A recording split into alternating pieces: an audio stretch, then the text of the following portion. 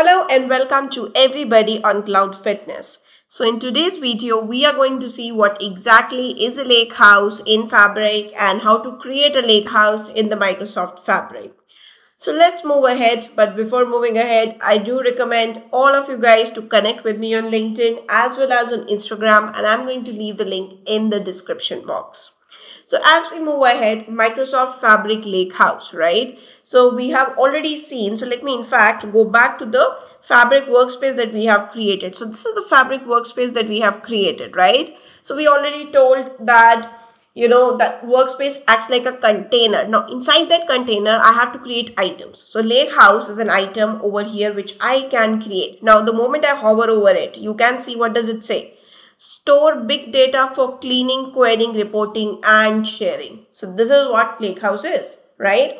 It is storing the information, it is storing the data that you have, which you can use for querying, which you can share as well. You can apply transformations on top of it and you can query it. You can use it for reporting as well. So this is what your lake house is all about. You know lake house is not something which is coined by you know after fabric has come. Lake house was a pretty uh, you know now it's it's a pretty old term now. In fact i have created one video you know on the difference between databases data warehouse you know the lake house the delta lake. So all that i have already made a video as well. Like i think a year back you can go ahead and watch that as well.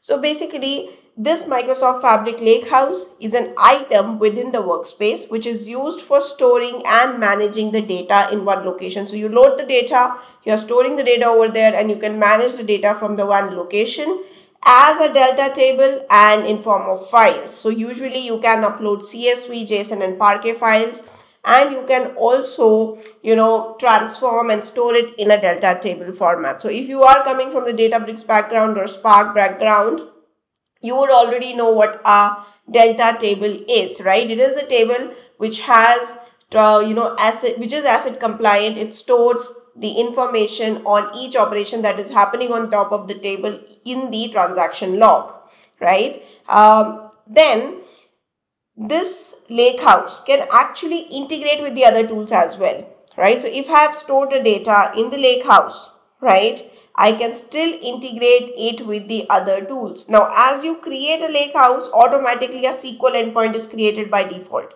Now this sql endpoint will help you to connect to tools outside the fabric you know using the sql endpoint you can connect to the tools outside of the fabric and query the data which is present in the fabric as well. So in, in the fabric lakehouse as well. So in turn this fabric lakehouse what it is doing it is helping you consume the data it is helping you store the data in the parquet or a delta format in a csv json format in a semi-structured or unstructured format you can also integrate it with the other tools using the SQL endpoints and as well as you can query the data through Power BI as well. When I say query the data, right, it's not like you're querying the data, but you can create your report. A default model is also created for your Power BI from the tables that you create in the lake house so that you can use it for your reporting as well. So let's go ahead and in fact, let us create a, uh, you know, lake house. So right now I'm in the fabric workspace 01 and I'll go click on new and I will click on this lake house and I will say workspace 01 underscore lake house and I will click on create right so i'm creating a um, you know lake house and the moment i'm creating you will also see that it shows that a SQL endpoint is getting created and a semantic model for the Power BI is also cre getting created. So you can see over here a SQL analytics endpoint for SQL querying and a default Power BI semantic model for reporting is being created. So it is creating and you can also see that it shows that successfully created. So it has taken just a few seconds like I think four seconds to uh, you know get it created. So it has created it and uh, we will see we will actually upload the data over here. There are multiple ways in which you can upload the data right into the lake house which we are going to see in the you know upcoming video as well.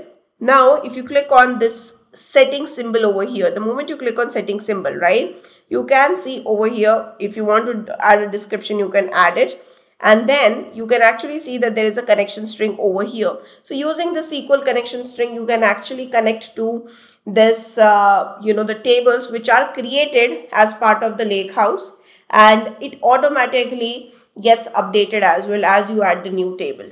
Okay.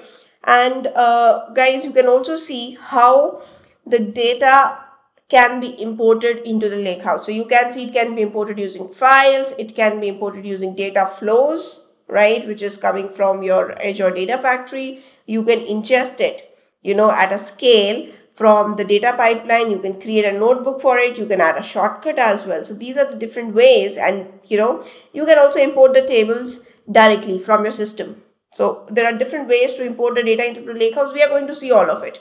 So that's not, um, you know, um, restriction that we will have. We are going to see how we can, uh, in fact, uh, work with the different types of data within the data lake and how we can transform it as well in our upcoming videos. And similarly, you know, if you even uh, check this particular option, you can see that it will, you know, show you both the lake house as well as the SQL endpoint that was created, right? And similarly, if you want to add the data, again, the same thing that is mentioned over here on the UI, you can upload the file, you can create a data pipeline, you can create a data flow, you can add a shortcut and even the event stream.